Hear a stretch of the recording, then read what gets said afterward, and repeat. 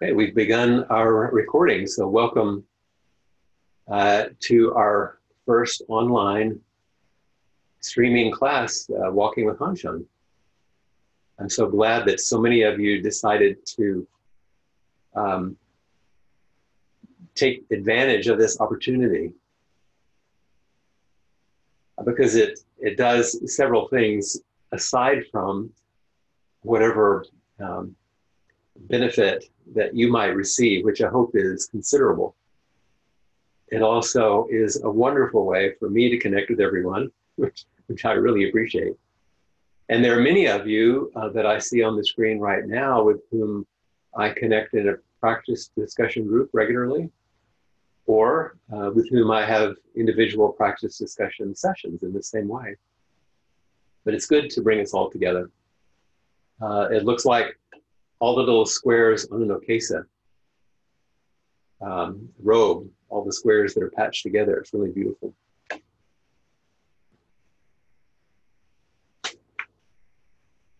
I think we probably won't take uh, time today to do any kind of extended sitting so we can um, begin our walk together. But just for a moment, just listen to the bells.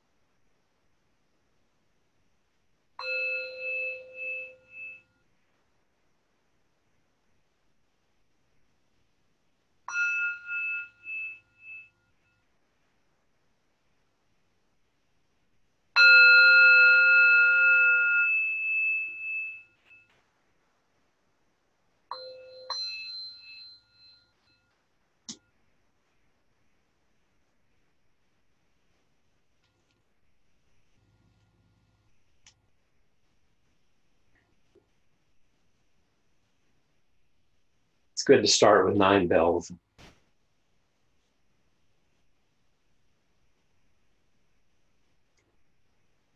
So, as you know, in recommending that we use this as our guide, um, a beautiful collection of newly translated poems by Kaz Tanahashi and Peter Levitt. It's the first full collection of the poems of Hanshan or Cold Mountain. There are uh, many translations that have uh, come about over the years, and no doubt some of you are quite familiar with Hanshan's poetry. Um, I know uh, those of you that have studied these kind of things have come across his poetry. Peg sent me some uh, some things today, and even some uh, a poem that she had written in response to Hanshan's work but this is a, I think, a unique uh, collection, and I thought it might be um, a good map for us to use to walk together. And I use that imagery of walking together um, because I'm, I'm, sure a lot of you are are familiar with what it's like to go for a walk with a friend, um, maybe to go for a hike, but even less strenuously, just a beautiful casual walk with a friend. And there are things that you notice that you wouldn't notice otherwise. Um, and so this is a, a way of walking um, together to see what we might discover if we do so. I'm not going to begin with um, an enormous amount of history or background. I'm going to give you just a little bit. Um, and I'm also going to make sure I have my timer set here appropriately. Pardon me. So I can be respectful of our time.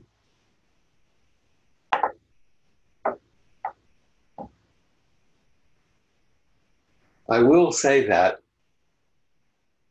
the person to whom these poems are attributed, Hanshan or Cold Mountain, and by the way, Hanshan means cold mountain.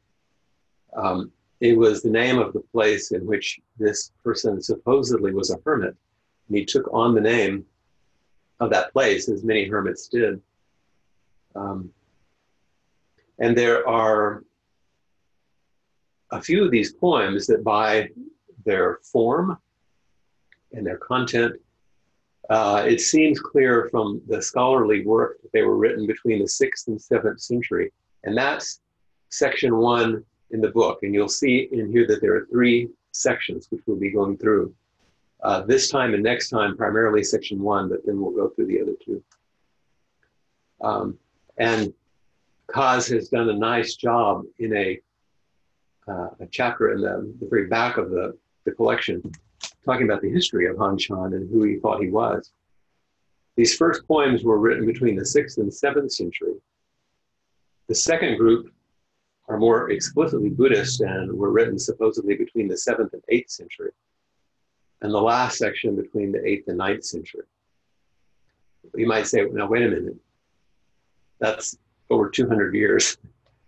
So this guy was really old, or it wasn't actually one person. So it's it's um, it's very probable that Han Shan wasn't one person. There are quote three Han Shans, um, or at least three periods in which these these poems seem to unfold in the mountains of China between the sixth and the early part of the ninth century. So that gives us a little bit of a um, situation of where we are what I'd like to do is just dive right in, and I'm going to be um, indicating which poem will be referencing at various points. And if you'll notice in the book, they all have a number. It's quite easy um, to find which one we're, we're looking at. If you don't have the book yet, or don't have it at all, then just listen and receive uh, what comes. You don't have to necessarily uh, follow along inside. And rather than try to explain or give some intellectual orientation uh, to the poetry, I'd rather step onto the path and begin to let it unfold as we walk together. That seem okay? And by the way, with this kind of format, Obviously, it's a little more complex uh, for discussion. Um, but I'm sure there are moments in which you will absolutely not be able to help yourself. And, and good that you really want to say something or make a comment. And if you do, wave at me. There are a whole lot of squares, so I might miss you. Uh, and if I miss you, unmute yourself and say, hello, I'm trying to get your attention. It's totally fine. It's just really good that we don't, we're not all on the microphones at the same time because we get an amazing amount of sound that comes through from all these different uh, systems. Does that seem okay also? So let me know if, uh, if you want my attention and if you want to say something, make a comment, ask a question. Um, and it may be even a little harder with the group in the Zendo, um, only because you're tiny for me. So, uh, but I know that um, that you'll make sure you stand up or wave at me or something so that I can uh, can hear you or see you. So, any uh, anybody want to get my attention right off the bat, just to ask a question about something or what we're about to launch into. Is everybody ready to um, hold hands and step onto the path? Okay, great. Why don't we start at the beginning? Poem number one.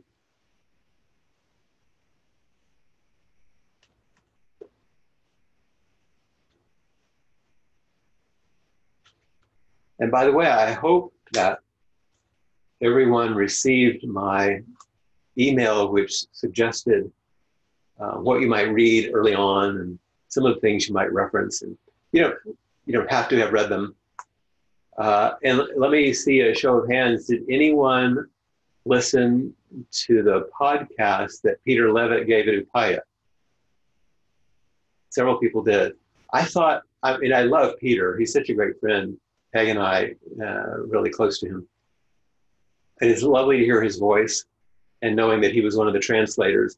But it was also spectacular to hear the native Chinese speaker read the poems and to hear uh, Peter say, maybe this is what they sounded like in Han Shan's own mind.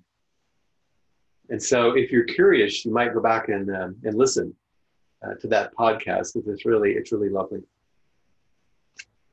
The first poem, you ask the way to Cold Mountain, but the road does not go through.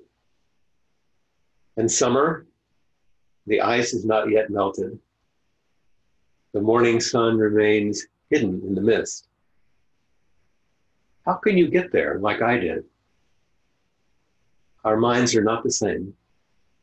When your mind becomes like mine, you'll get here too.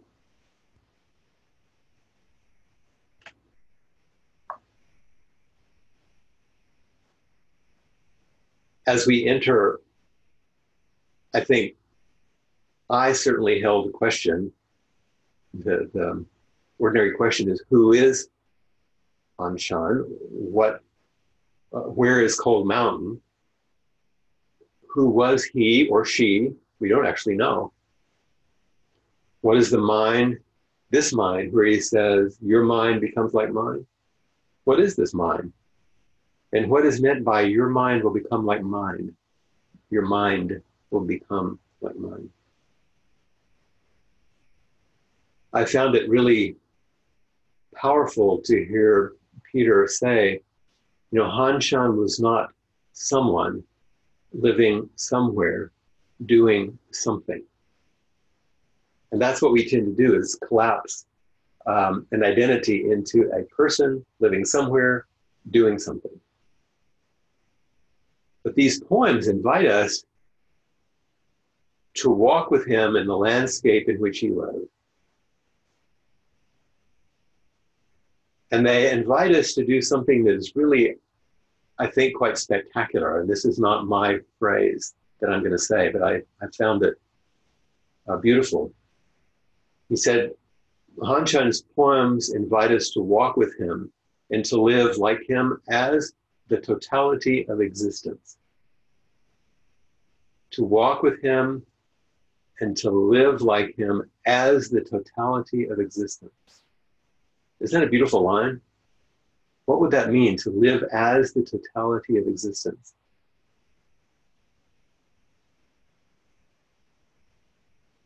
It calls to my mind the line we chant so frequently caught in the self centered dream, holding to self centered thoughts. That's not living in the total as the totality of existence. But at the end of our four practice principles, and it said, being just this moment, there's a pointer to the totality of existence. And in between, there's that beautiful line that says, each moment, life as it is, the only teacher. So we're invited on a pilgrimage when we engage the poems to face our willingness for spiritual risk and renewal. Have any of you ever gone on a hike or a walk that you thought when you began, you know, this is maybe just a little bit or a lot, but let's just say just a little bit beyond my ability or capacity? There are times when I lived in Colorado where I would I was going to go on a walk with someone in the mountains, and I'd think, oh man, I don't know, this is this might be a little too much for me. Have you ever done that? I see some head shaking. Or you know, I'm not quite sure where we're going. I think I do, but Let, let's see how it goes. Because we're invited on the pilgrimage to face our willingness. I, I really think, and I can imagine, um, even though I can't see it very well, I can imagine this is one of those moments after so many years of teaching with Peg that when I say this, she'll be shaking her head like this. You know? I love that when we teach together. Oh yeah, that this um, this pilgrimage of facing our willingness for spiritual risk and renewal is what we do every single time we step over the threshold into the zendo with our foot away from the altar. And we do it in a ceremonial way. We do it in a specific way, in a mindful way, to let us know we're not just bursting into a room when we're coming in to sit zazen. We're taking a risk. And we're entering a space of pilgrimage where we're going to face our willingness for confrontation and for renewal. That possibility. Does that seem okay, Peg? Great.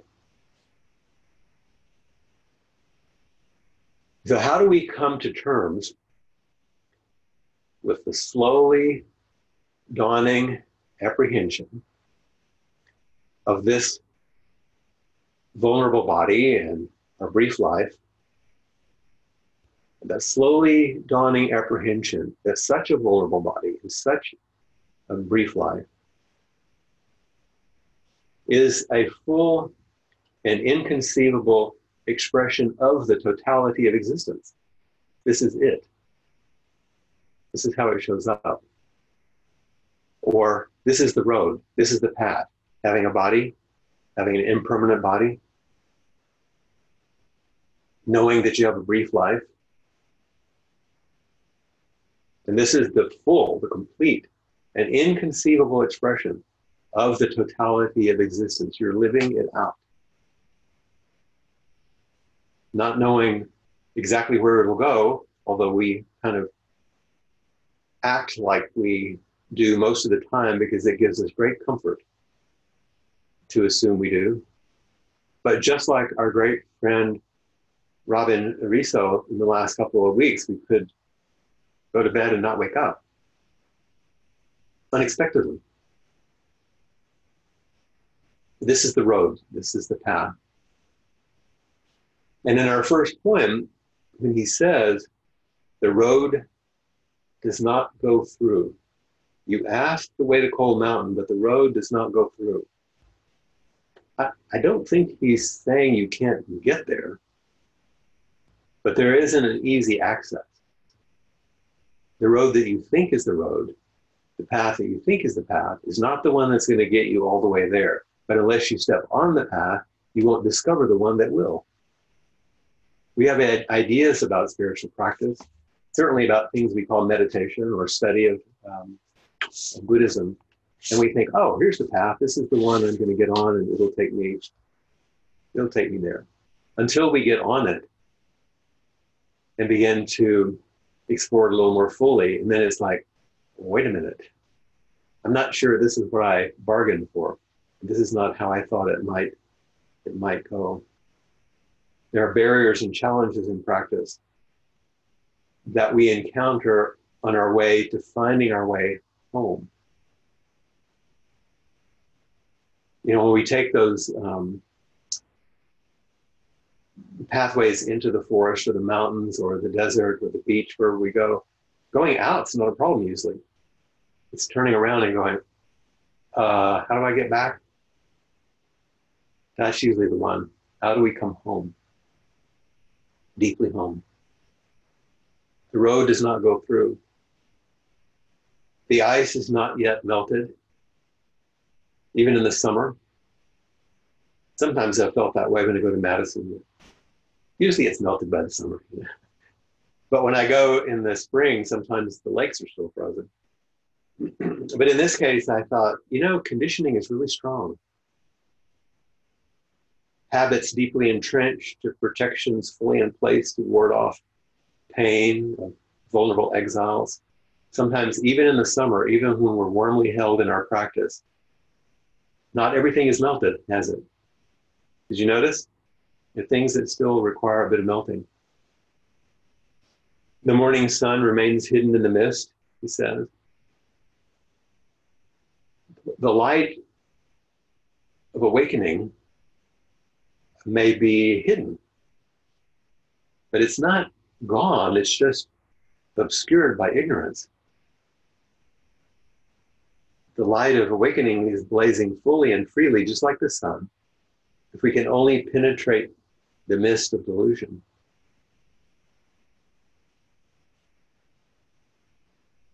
The window out of which I'm looking through the blinds, there's a valley below me and then a ridge across the way.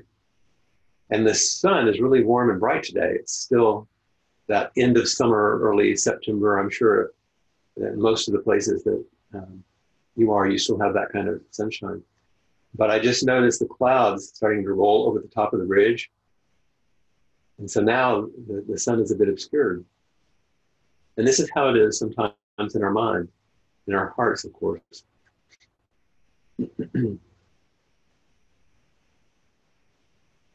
How can you get here like I did? The next line. As I was thinking about that, my my first question was, who is this I? How did how can you get here like I did? It could be, of course, the poet speaking, but this is the key question, isn't it? How do I discover or open to, or sometimes we think each state of wakefulness and peace and clear mind and a generous heart. How do we get here? And then when your mind becomes like mine, you'll get here too.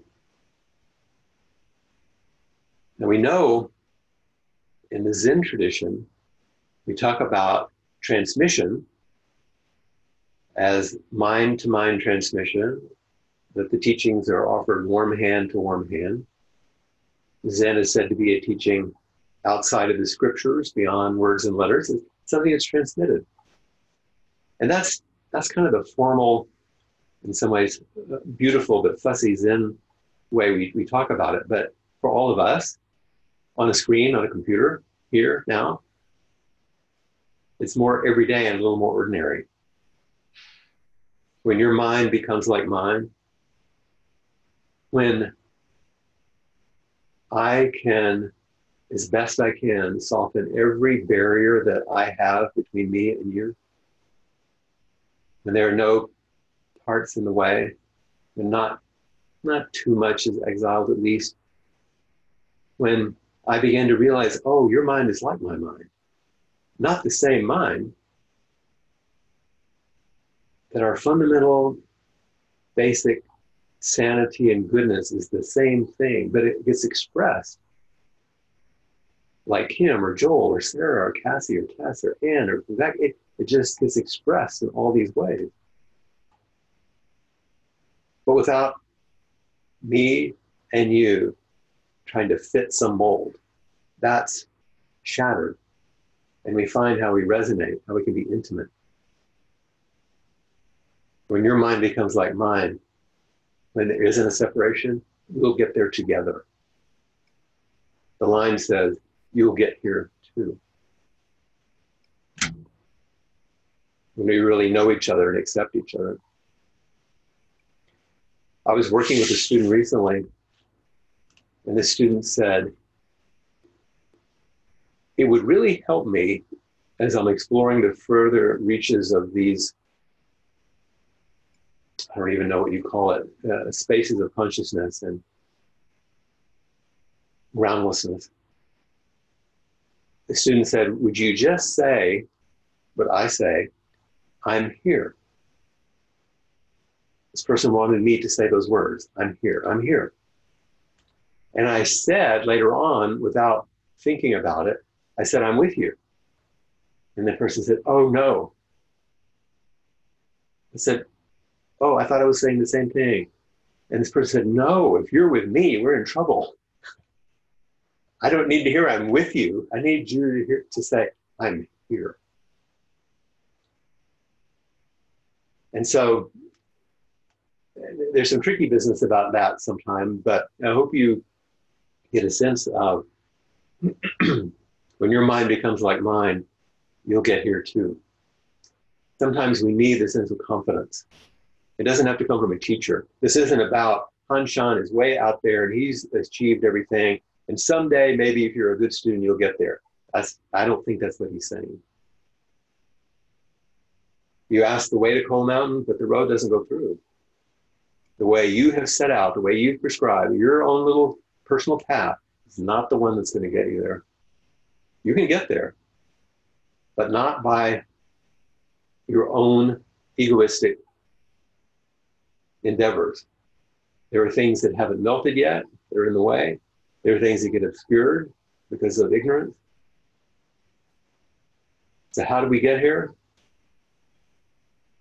When our minds are the same, when we're not separate, when we connect and care for each other and wake up to that, that sense of one mind, one heart, one body.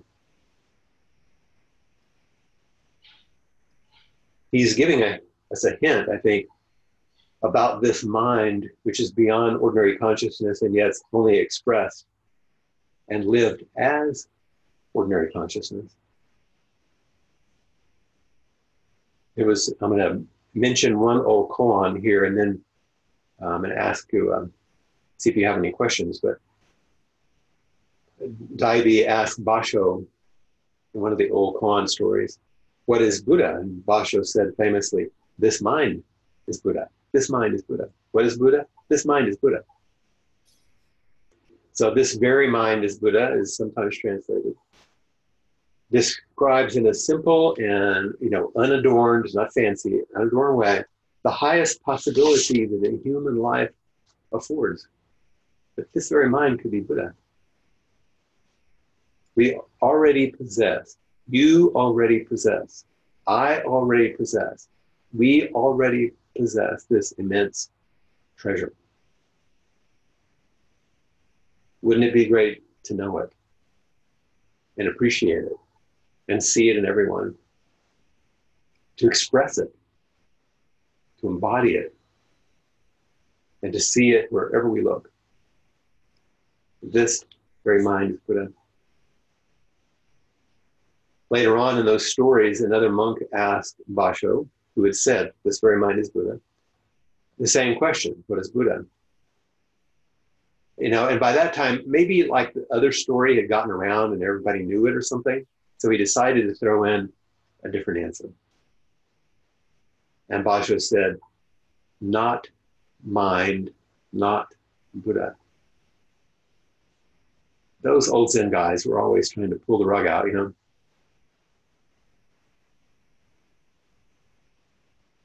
So word got back to Taibi, the original questioner, that said, what is Buddha?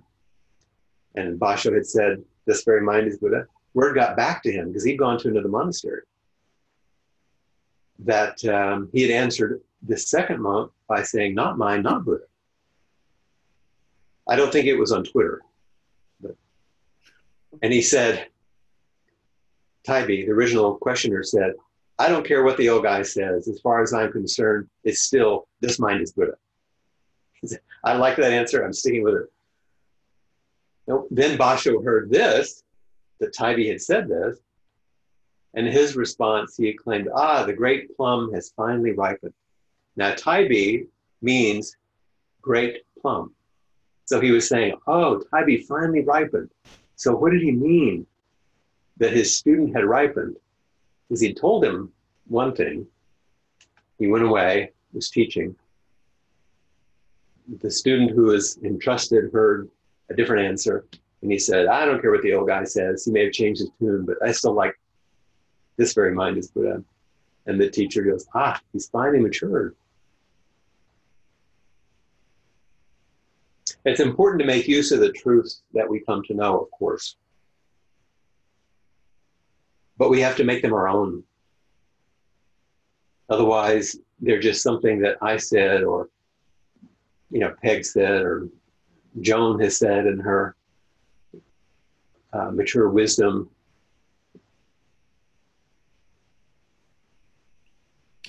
If we're not willing to try things out on our own, to have our views smashed and transformed, then what are we doing all this for in the first place? If we think we have the answer and we know it, that's a problem. If we're willing to have things challenged and mixed up, that's a possibility. But also, if we find something that makes sense to us and speaks to us deeply, we also have to have confidence. Confidence is not is not a way of standing against humility, the kind of confidence I'm talking about. It's not arrogance. It's not um, stuckness.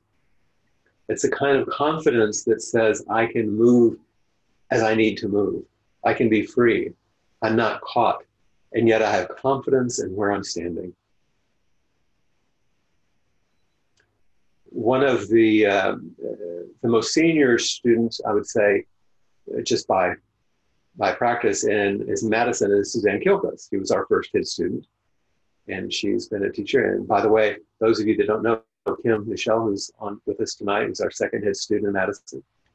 And um, Suzanne recently returned from um, a retreat. I don't think she'd mind my saying. We just talked today, and uh, a qigong retreat with um, a Chinese master. And, and, Suzanne has a lot of practice, including body practices, but she also has um, a very labile form of bone marrow cancer that could be to turn into an acute leukemia. She's doing well. But she talked about this uh, Chinese teacher talking about confidence. And it rang true to what I was reading here. He said, You have to have confidence, not arrogance. Confidence in, and now I'll say in one's own nature, in Buddha nature, in what's, what's deep. That's what we're pointing to in Cold Mountain.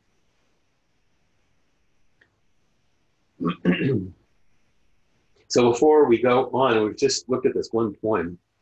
Is there anyone that wants to make a comment or ask a question or just say something about this first poem, which we could, you can make a whole retreat from this one poem, right?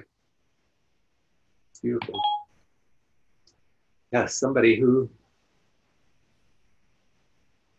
was that you, Joel? No? Um, oh, I thought I was on mute. No. I, I, I, I just was reawakening my iPad so I could read the poem. Ah, okay. I don't have a comment. Okay. Anyone? Just checking. Otherwise, I'll go on, and I'm sure I don't want you to go to sleep listening to me. Is it going okay? As we start our way down the road, okay. You know, we've, I think we have to come to terms with the fact that this existence is an amazing and generous gift if you can't come to terms with the fact that this existence is an amazing and generous gift, then you're missing something. Now, right alongside that knowing, you might bitch and moan about a whole lot of things. Was that a yes? Thumbs up, Sally? I couldn't tell.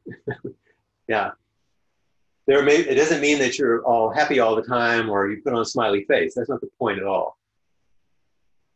But if you can accept with some confidence, and here's where the confidence comes in that existence is an amazing and generous gift, then there is the space and ground from which you can meet that which feels nothing like amazing or generous.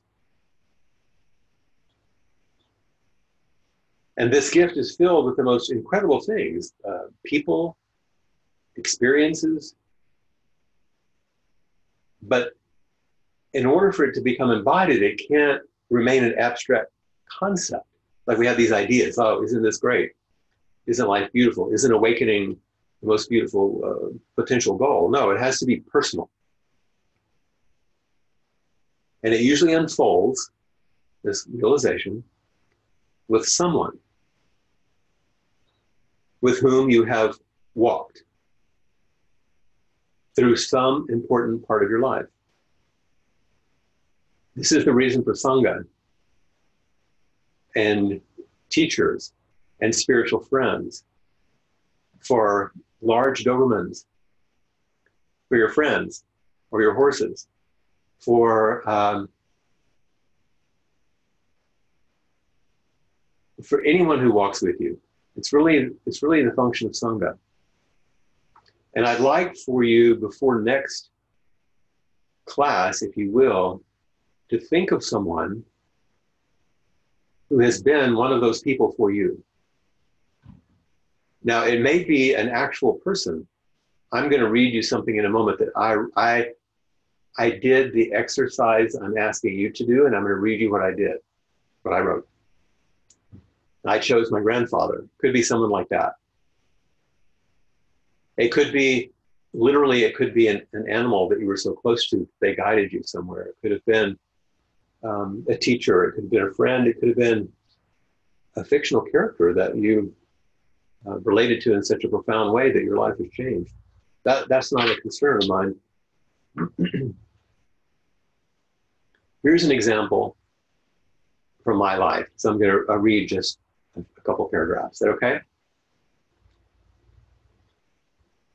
The name that most people do not know is mine is Thomas. That's my first name.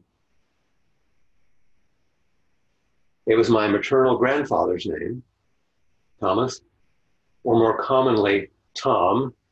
His last name was Perry. They called, her, called him Tom Perry, or a lot of people in the small town in Texas called him Mr. Tom. I was named after him because he was revered by my mother, who was his daughter, son. She functioned in that way for him. And my father, who appreciated his maturity and integrity, unlike his own father. Tom Perry was a good man. A sidebar, I just thought we actually come from the same lineage as Commodore Perry, for which I think the Perry estate in Austin is named. Isn't that true? I'm not sure right there next to Appamada. My grandfather loved me dearly and took me everywhere with him when I was small. He was a rural mailman in Caldwell County, Texas, delivering mail out of the main mail uh, post office in Luling, a small, a small oil producing and agricultural town 45 miles south of Austin. He would take me on his mail route through the countryside, delivering to the families on small farms, living a simple rural life. We would stop at places my grandfather leased in order to raise his cattle. He loved ranching, but he couldn't do it full time, so he leased these properties, his little bits of ranch land, and we would sometimes leave the dusty roads and head out directly across the pastures, bumping along, and I would stand in the seat of the pickup so I could see. I'm less than four years old at this time. Held up by his right shoulder. You know, there's no seat belts in those days.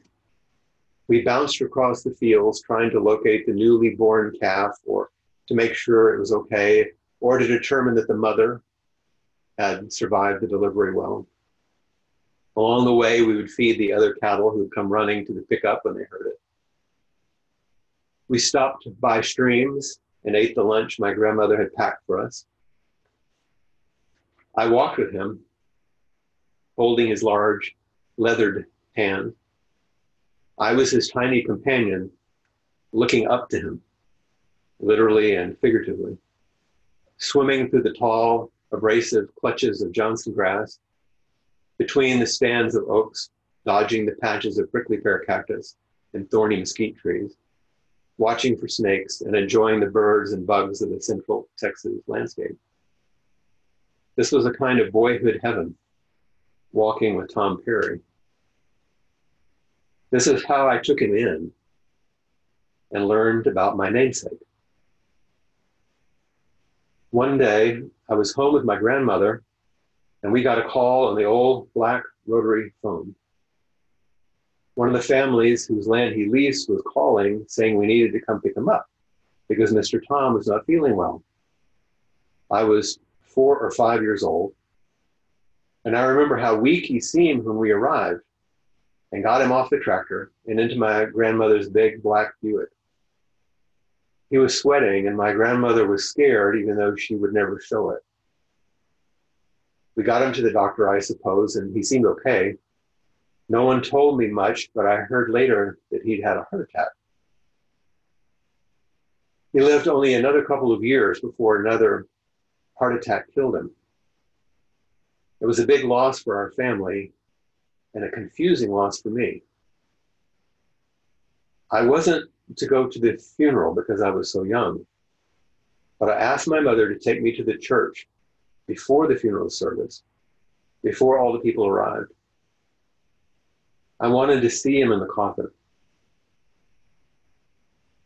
She wasn't so sure this was a good idea, but I wanted to do it, so she let me just the two of us walking down the empty aisles to the front of Central Baptist Church, our family church. I was about to start first grade and Tom Perry was gone. Sort of. What part of his mind had I taken in? What had been transmitted? What remains today?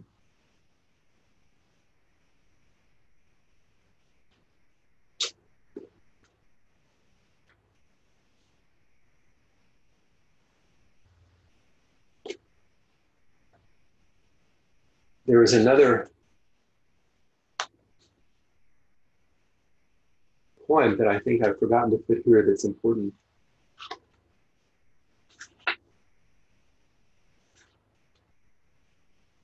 Number seven.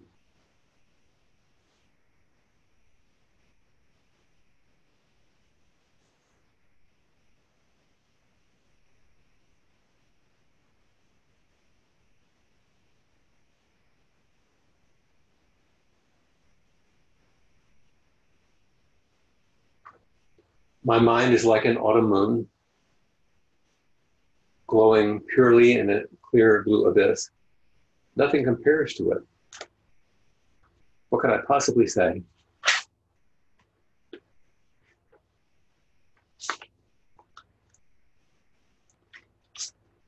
My mind is like an autumn moon glowing in the glowing purely in a clear blue abyss. His eyes my grandfather's eyes were like clear blue space. And when he looked at me, I began to learn about love. I believed what I saw expressed through his eyes long before I had the capacity to think much about who or what I was. I was seen, and I could feel this in my body. He showed me the world through his eyes, both in the way he looked at me and what he showed me in those formative years. In the poem, it says, Nothing compares to it. What could I possibly say? How do you say what happened? Well, you don't really. You live it as best you can and it lives on in and as you.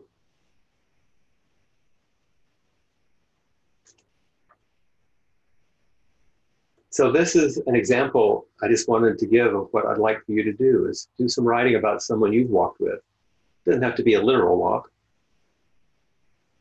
That has shaped you. That has helped your mind become like theirs or helped you open your mind or become more than you thought you might be or shape the possibility that you now see being expressed in your life. This is how we're going to walk with Hanshan anyway. You know, it's, it's easy to read the poems and to read um, critical analysis, to make um, discriminations, to make distinctions, to debate the meaning of the poems. Uh, we can challenge his conclusions or his teachings. We can look for a place to stand with him. Um, but none of this is walking with Hanshan. None of that's walking with. That's stepping back and thinking about.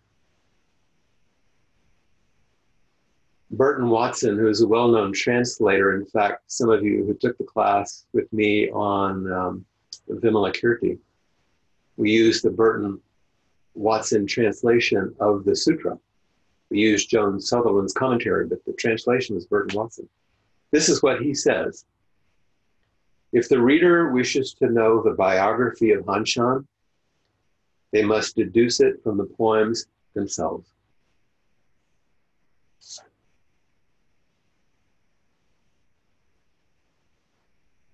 So, in a way, this can't actually be a regular class in which uh, some content is offered.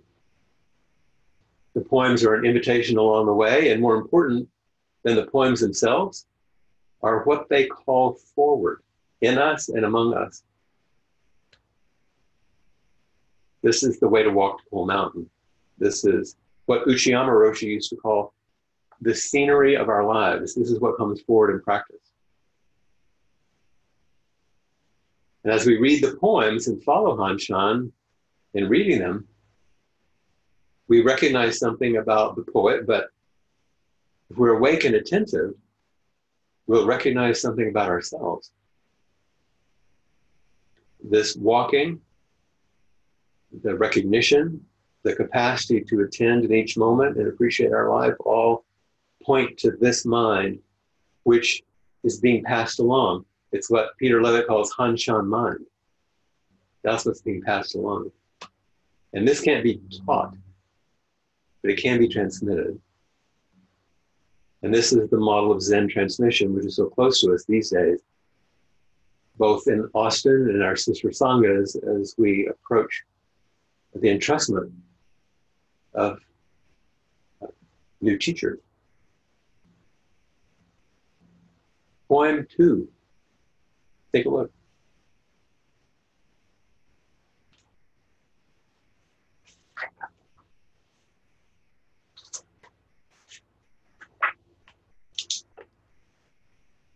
Flint, Yes. I'd like to make a comment. Oh. Please. Can you see? Yeah, yeah. Monica. Okay, so poem poem, I'm saying it like you. I say poem one, something that sticks out right away when you're talking about it and when I look at it is it's smack dab about a rela- relationship or it, like you were saying how important sangha is. It's it's a it's not him talking about his life and what happened and things that happened that he was enlightened. I don't whoever put this first. This is all it's about relationship and um, leading the way and transmission, like what you're talking about. And I just think it's beautiful. That's what's the first point here is. You know, it's about how our mind could become like his. It's not just him talking about his experience. Mhm. I think that's And that's also why I entitled the class Walking With, uh, because it's about how we connect. I also, very personally, thought that it was important because how do I sustain my relationships with all of you over all of this space and time and distance? And how do we reach out across all this time and distance to be with each other and to remain connected? Whether those of you in, in Austin or in Madison, in San Antonio, in uh, out near the Pedernales River, all of you all over. Those who are going to listen to this in England, all the way from the south in Sussex to the north in Lancaster, through Sheffield. Uh, Sophie will be listening in Switzerland. How do I bridge that gap? How do we keep the thread of connection among all of us? Thank you for just underscoring that. It's also why I used an example of some very intimate relationship that I had, and why I'm asking you to reflect on those intimate relationships that you had, um, so that it, these things can come alive. Otherwise, they're interesting old poems. It may be beautiful and instructive in some way, but how is it going to live in you? How is Hanshan mind going to wake up in you?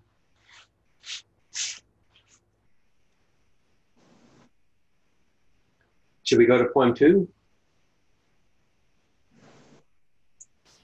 Okay. Um, me ask a question, if you don't mind my doing so. Um, do you have the book, Kim, Michelle? You? Mm-hmm. Um, just because I've been, do you mind reading number two? You'll have to unmute yourself. There you go. That way, people in Austin, people in Austin get to hear you. They hardly ever hear you. I was gonna say about the comment about Sangha is I love seeing all of these people because I know a lot of you because I listen to the Appamada podcast.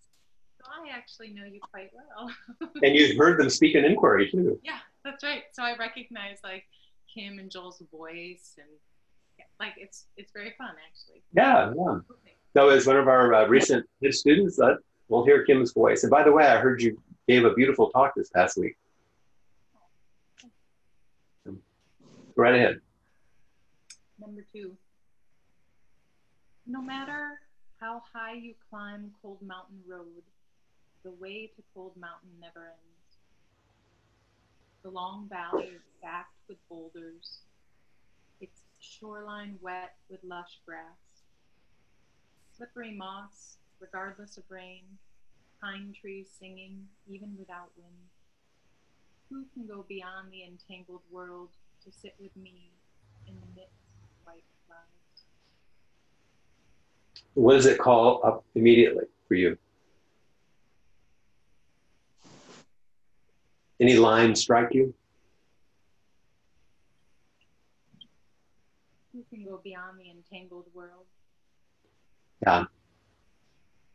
And thank you. That's actually the line that Peter Levitt pulls out in his introduction, too, because that's the key to Hanshan's uh, teaching. This practice, uh, it says, no matter how high you climb Cold Mountain Road, the way never ends. The practice of intimacy never ends. The road doesn't have an ending no matter how far you appear to, to go. Opportunities for penetrating the great mystery of life and death never end. If it did, we could practice and do one retreat and then we'd be finished, you know? Great, done. But it doesn't end.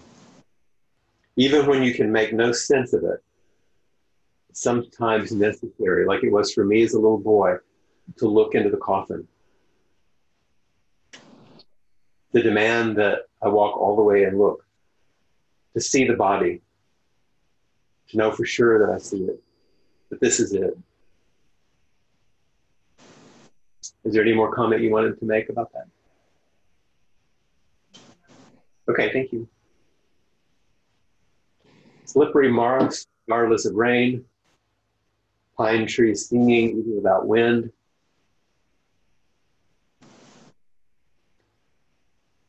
the life that we're all living and the one we're hoping to live is always here despite conditions. Your own true nature is always here. Suzuki Roshi would say, on your side. It's always on your side. Despite whether you practice it or not, which means you might realize it or not, but it's always on your side. But to feel the slippery moss, regardless of rain, to hear the pine trees singing, even without wind, for that, practice is necessary.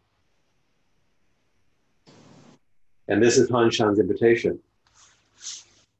This is why we're walking with him and with each other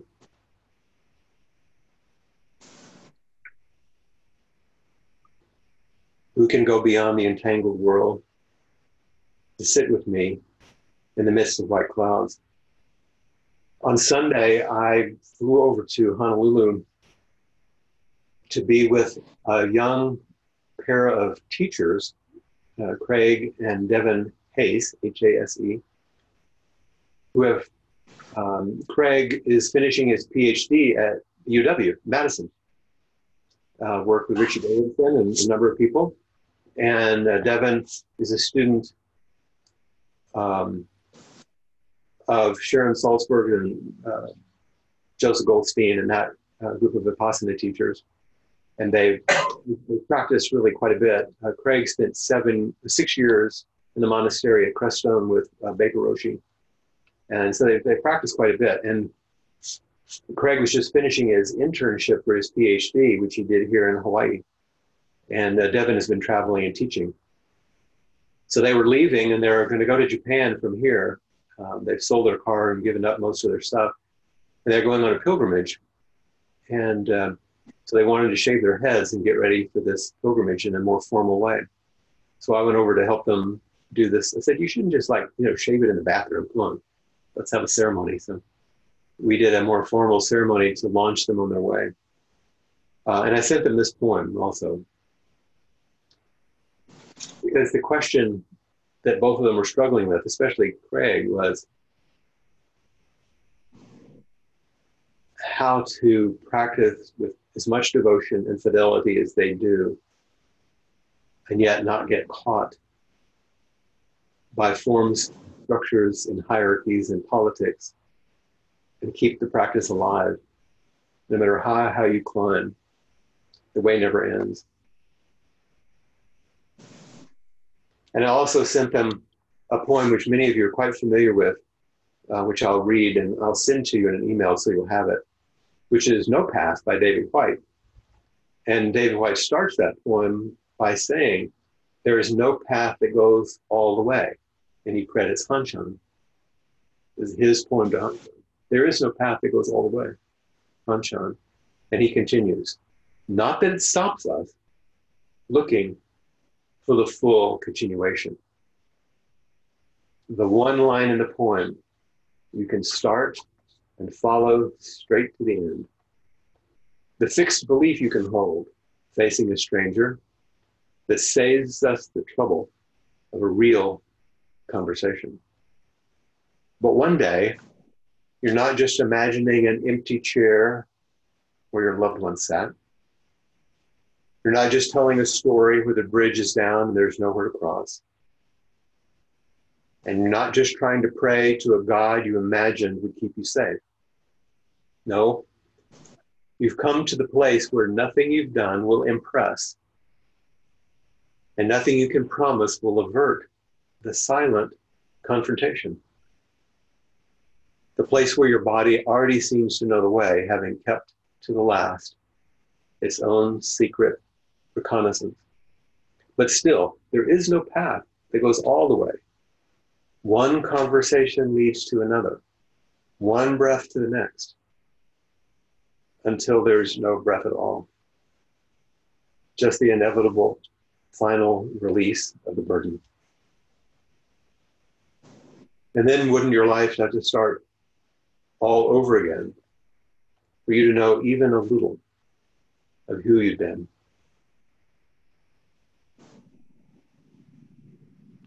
So, what is this life? How do I make sense of it? This is it's like the basic spiritual question. This is the basic religious question. This is the question that Hanshan keeps pulling us back to. One number five.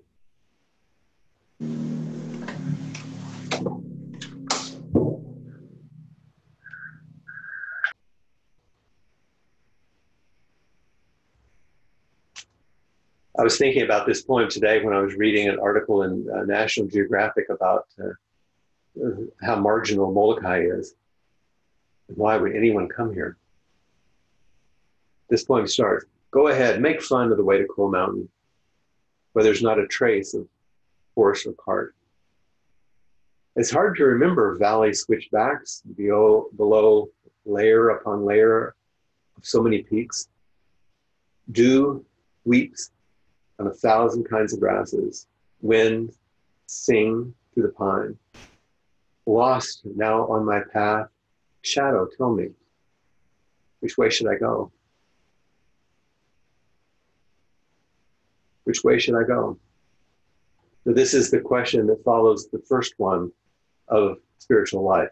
Now, what is this life? What is it about? And which way do I go? How do I live it? And when you're in solitude, you're on your own, like Hanshan was, or even just in those moments. Like last night, I got up to go to the bathroom in the middle of the night and the moon was bright. I thought something was moving, but it was my shadow across the floor. In solitude, you turn to the only one that's with you, your shadow, and ask, How shall I live? What should I do? What's the best life? What's really important? I think, of course, this is what Suzuki Roshi was asking when he would ask his students, What is your inmost request? What is that deepest thing that's calling us? Where does such a call come from and where does it lead us? And one of the things that I've been curious about uh, recently is we hear these calls that come, maybe in a dream, maybe in our quiet time of sitting, maybe it's when we're driving to work in the morning or sitting and having coffee, reading the paper, or busy, busy taking care of kids or dinner. It's something. How do we know if this is our inmost request, meaning a deep, true voice? Or is it some small part frightened and hoping to be protected? Or some other aspect? It's not that those voices are not to be listened to, it's really important that we do. But how do we know what we're hearing? We don't always. But that doesn't mean it's not important to listen.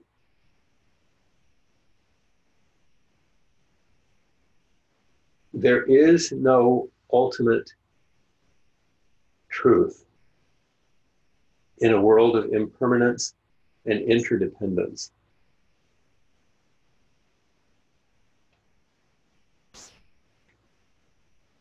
Yet, there is no ultimate truth. This is what Nagarjuna is telling us. There is no ultimate truth in a world of impermanence and interdependence. Yet, wisdom is real.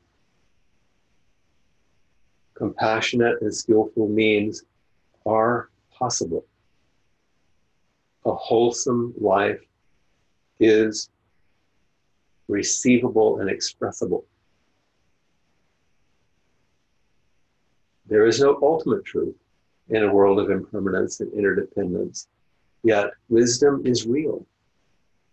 And compassionate and skillful means are possible, and a wholesome life is receivable and expressible.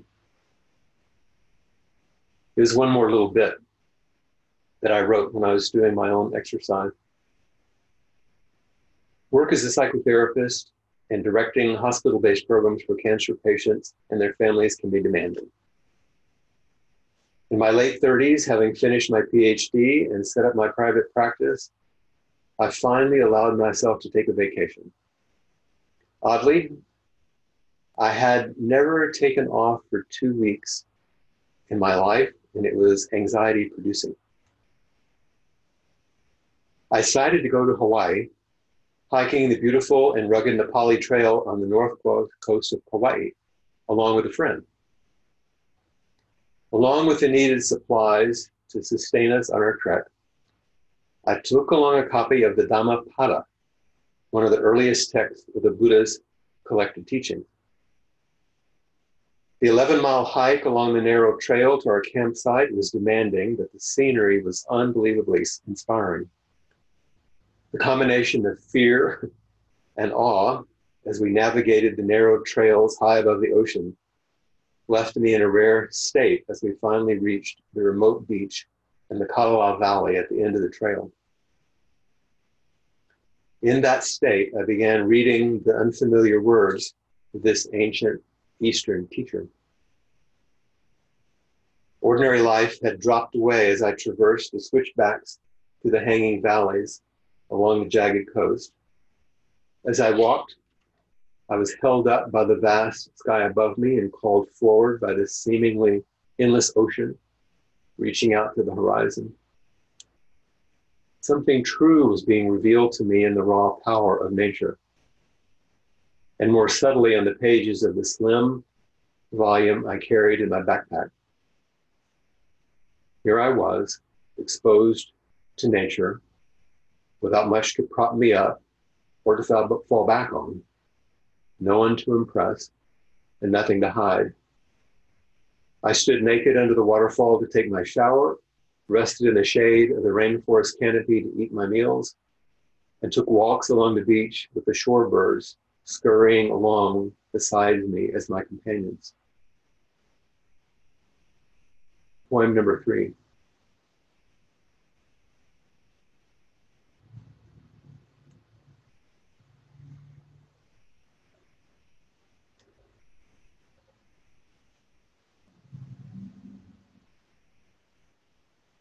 Amidst cliffs, I've made my home. The paths of birds are beyond human tracing. What is there beside my garden? White clouds embracing dark stone. How many years have I lived in this place, watching the many changes of winter and spring? Let me say to those with cauldrons and chimes, there's no merit in your worthless reputation.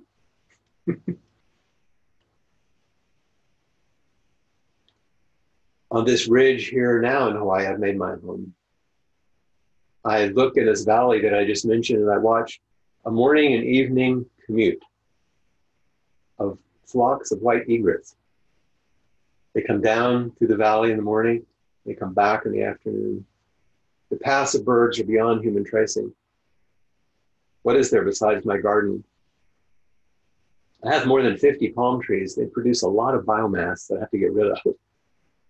White clouds embracing dark stone. I love that line because it's a beautiful line about the mountains and the, and the clouds, but really what it said to me after I read it the first few times is the goodness, whatever openness, whatever wakefulness I could possibly open to and practice embraces the darker parts of me, the hidden, naughty, difficult, thorny places.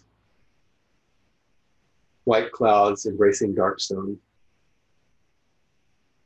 Does that make sense? How many years have I lived in this place? Watching the many changes of winter and spring, on and on, year after year. Let me say to those with cauldrons and chimes, with PhDs and you know on and on. I said to myself, "There's no merit in your worthless reputation." And here's the completion of my writing on this one. When I returned from this trip, from when I did my hike on the Kalalau Trail, when I returned, I began to slowly find my way along a new spiritual path. This landscape was characterized by mindful awareness, profound acceptance, and deep gratitude for all it is. I studied and learned all I could about the Buddhist teachings. I came to see that his only concern was the cause of suffering and the relief of suffering he saw around him. That was what I was interested in, what my patients needed relief from suffering. I meditated and went to retreats. I found mature teachers to guide me and friends to accompany me along the way. I started a small meditation group, founded a Zen center, was ordained as a priest, spent time in a training monastery and practiced in Japan. Eventually, I allowed a good bit of the ancient Asian forms of practice to fall away. Now I teach the same freedom from suffering, just as I am in this body at this time, in this culture, under these circumstances. Poem four.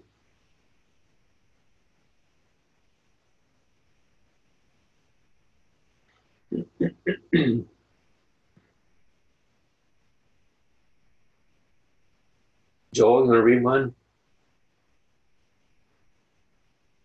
Yes. He was our first hit student at Appamada. Number four, if you want to attain a peaceful life, settle down at Cold Mountain. Subtle breezes blow through mysterious pine. Listen closely.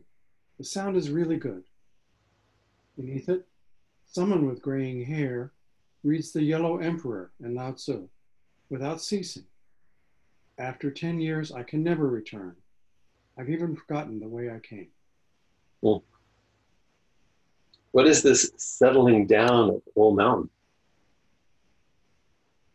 If you want to attain a peaceful life, does that mean you got to go to China and sit on the mountain? Joel, I'm asking you, you're the reader. No clue. No clue. Good answer.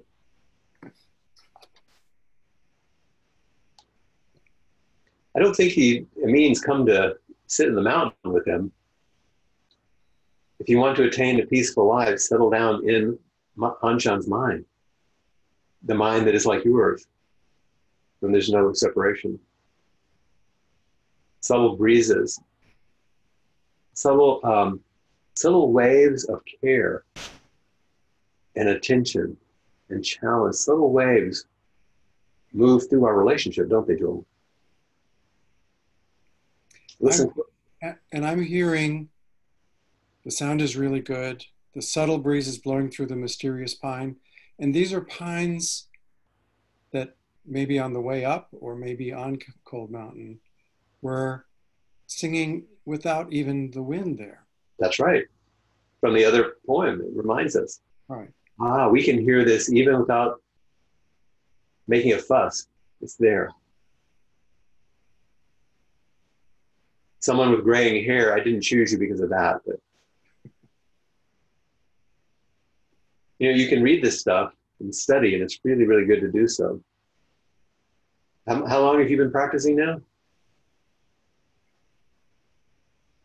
Uh, 16 years? Yeah. Even after 10 years, I can never return. I've forgotten the way I came. Something about that, isn't there? I see Annie shaking her head. Let's hear from her.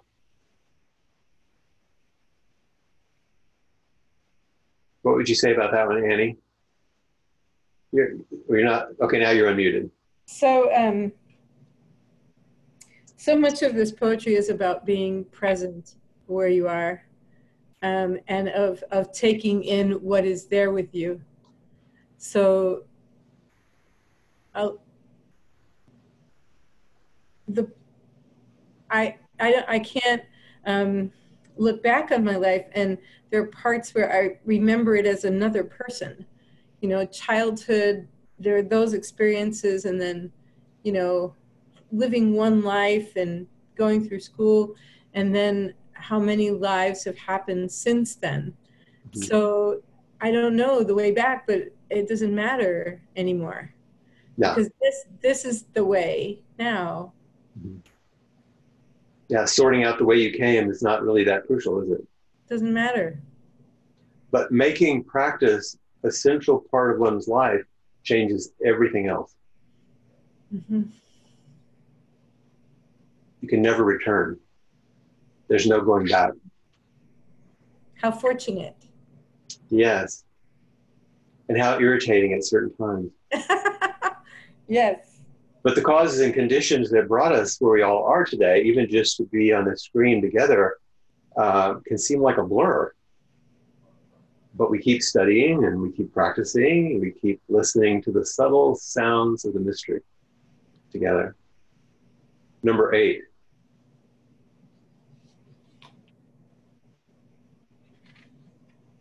Once I moved to Cold Mountain, everything was at rest.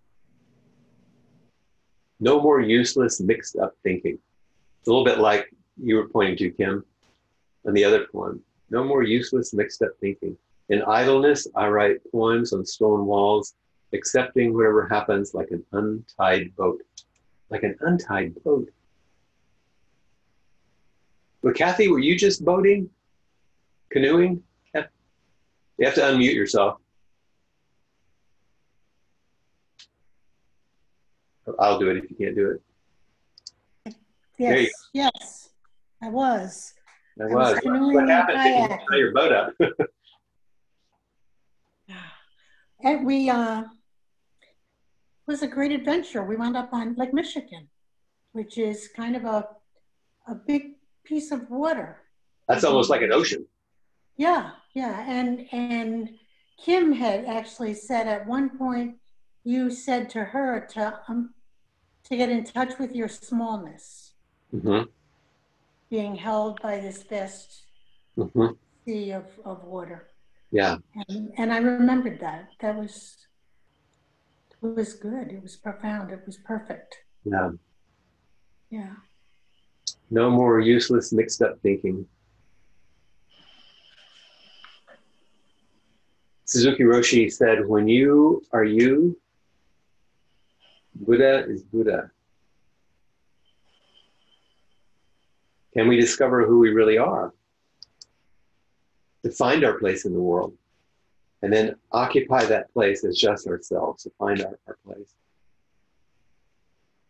And the Genjo Koan, many of you remember Dogen wrote, when you find your place where you are, he says, once I moved to Cold Mountain, everything was at rest. When you find your place where you are, practice occurs, actualizing the fundamental point. When you find your way at this moment, practice occurs, actualizing the fundamental point. For the place, the way, is neither large nor small, neither yours nor others. The place, the way, is not carried over from the past and is not merely arising now. Accordingly, in the practice enlightenment of the Buddha way, meaning one thing is mastering it. Doing one practice is practicing completely. Here is the place. Here the way unfolds. That just rang so powerfully for me as I was thinking about how do I understand Cold Mountain? How do I understand Hanshan? How do I understand this place? When we find our place where we are, practice occurs. Actualizing the fundamental point. What's the fundamental point? To realize and accept, release ourselves to our life. Ex- accepting whatever happens like an untied boat.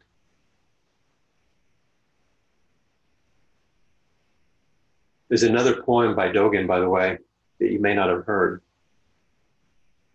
Here's the, here's the four line poem Midnight on the lake, no wind, no waves. The empty boat is flooded with moonlight.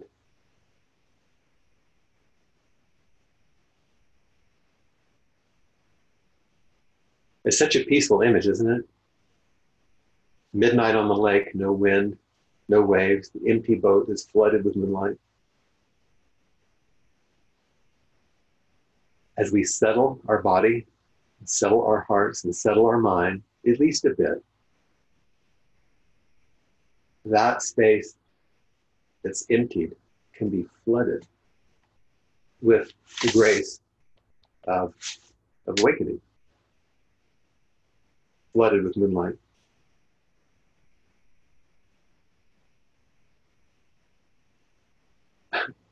On a very light note, I was in a retreat one time with Reb Anderson and a number of people from the Austin Zen Center, and Reb used this poem. And one of the very esteemed people that was with us didn't hear properly and later said, I don't understand the poem about the goat in the moonlight. thought he said goat instead of boat. Let's see. Let's go just a bit further. Number 41.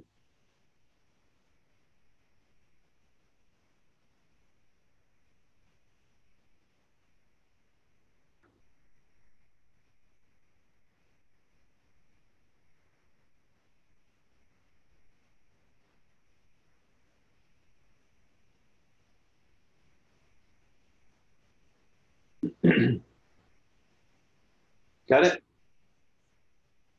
Heaven created a tree 100 feet tall that could be cut into long, lengths for lumber. What a pity this wood from a master carpenter was abandoned in a dark valley. Its heart remained strong after many years, but gradually its bark stripped off, leaving it bald. If there's someone who knows how to use it, it might make a strong post for a horse barn.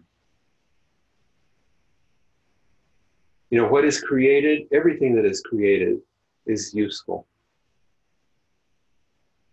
But because we select and reject, things get abandoned, forgotten, turned away from, misunderstood, exiled, abandoned in a dark valley. Yet the heart remains strong for many years. If the heart is Buddha nature, your heart is that of awakening, then that heart is untouched by conditions and is present to be realized and released, appreciated and embodied without an end.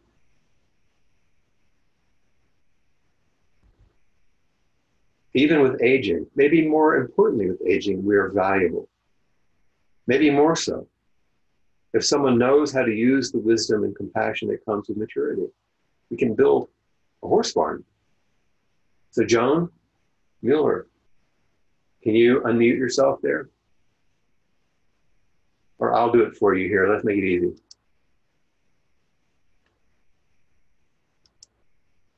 Nope, I can't. Can you do it? Mm-hmm. If you can't, that's okay. I just want to see if we, there you did it. Let's hear your voice. Are you there? Yes, I'm here. Would you would you read number 45?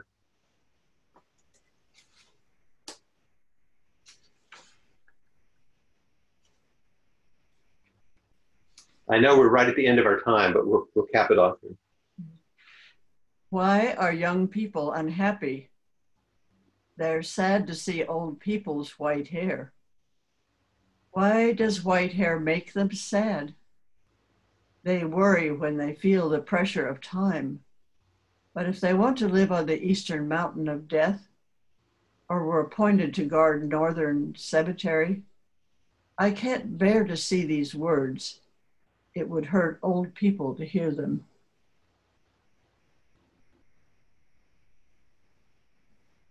Isn't it interesting that 1300 years ago he was writing about how unhappy young people are? If they could have only imagined the youth culture of today and the high rate of depression and anxiety among young people, compounded by the lack of friendship. And this is one of the things, Joan, you and I have talked about. It's what it's like to be, for sometimes, for you, the oldest one in the room. And to have so much to offer and try to find a way to offer it. Is this true? Well, as I sit here, I feel like I'm a beginner. That's one of the most important things you have to offer. on this mountain where there's so much that I don't know. Yeah. And how good it feels to be just open.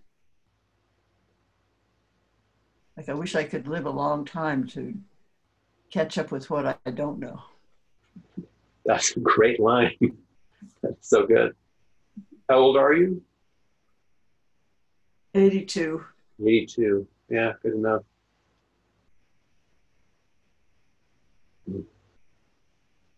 So, to end, um, let's. Um, you have enough light to read there, Sally?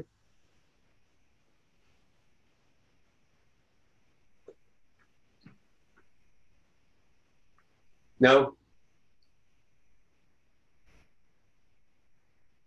Okay. We can get somebody else to do that. Hey, Nancy, would you read for us? What would you like me to read? Number, uh, we're going to go back to number 15. 15? Mhm.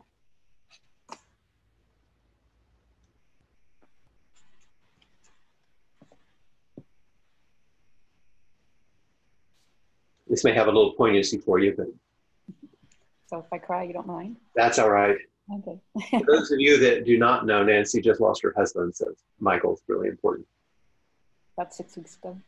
Yeah. Um, a country person lives in a thatched roofed hut. In front of his gate, a horse or cart is rarely seen. Birds gather in the dark forest. The broad streams teem with fish.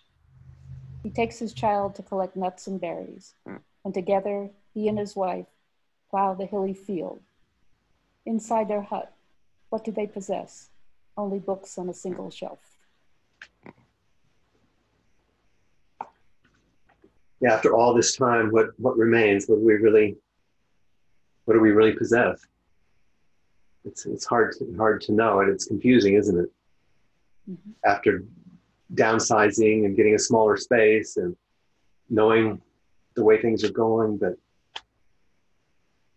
for those of you that don't have the song of the grassroots hermitage, I'm going to send it to you. It's a good poem um, to use in between this class and the next. And I'm going to just read one one last thing uh, to come to an end. It's number 60.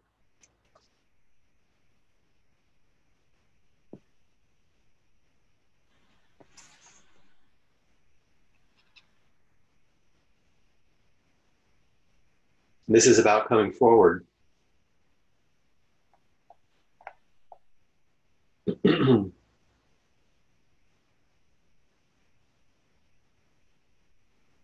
be able to step into your way. Cassie, would you read that one?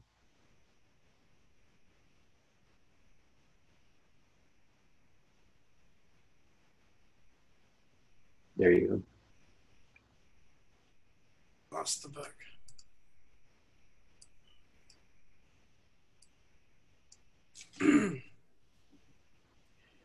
If you remain silent and don't speak, what will your descendants say? If you hide in a forest or a bamboo grove, how will your wisdom shine through? A withered tree is not protected. Wind and frost cause disease. If you plow a gravel field with an ox, how will you ever harvest rice? There's a lot in that one, isn't there? Yeah. That will leave us with uh, some questions for next time. Um, you know, practice in the world, offer yourself fully. Everything comes to an end. What are you going to plant? You know, and how are you going to make a field for it? So between now and next class, remember someone with whom you've walked through a particularly important part of your life. Write about that person, the situation. I'm going to send you these these prompts so you don't have to remember how you were shaped. Suzuki Roshi's question, inmost request. What is your calling? And uh, you might even want to think about starting to write some poems back to Hanshan. Uh, Cassie and I are working on setting up something. Do you want to say what that is, Cass? Oh, um, we're going. We're making a. Uh, if if any of you are familiar with uh, using Google Documents or Google Drive, we're making a shared folder for the entire class where each person can uh, put their uh, page in and then be able to be read by everybody else, plus the shared documents or uh, any kind of shared chat of what we have. And um, if anybody needs assistance with getting that stuff working, I'll provide the assistance, the tech support to help make that work for us. And I'll give you her email address. Um, I have a question on the assignment. Is it um, um, what came up for me is um, a child I work with now. Yeah. So it, it had- didn't have to be like from our childhood. It can be just. Oh, any- gosh, no. Okay.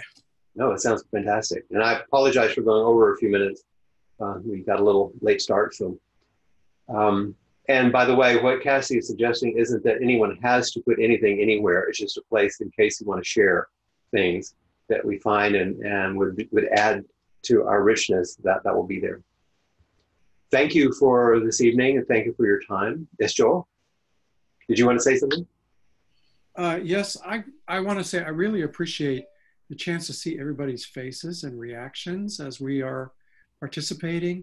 Uh, it's uh, and, and Peg and Kim and all the folks in the Mm. in the Zendo in Austin. Uh, you're actually so far away that I can hardly distinguish your faces. It's a shame. But for Yeah. the people on video, it's quite moving to me to be able to connect in this way. And I, I wanted to ask if it's possible for the folks who are going to be listening later, if there's some way to get their pictures so that we can see what they look like. Because I know. I'm Oh yeah, we might we might find a way to do that. That'd be good. Thank you for asking. Thank you for appreciating that. We will be signing off for this time. And I will stop our recording. And later, this recording will be available in some format, probably on those Google documents or something. We'll see. Uh, there'll be a link for it. Goodbye until next time. Keep walking.